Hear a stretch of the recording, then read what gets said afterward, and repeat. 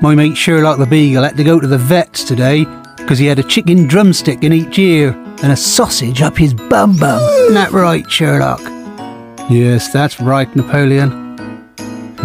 Vet said he's all right though. He's just not eating properly.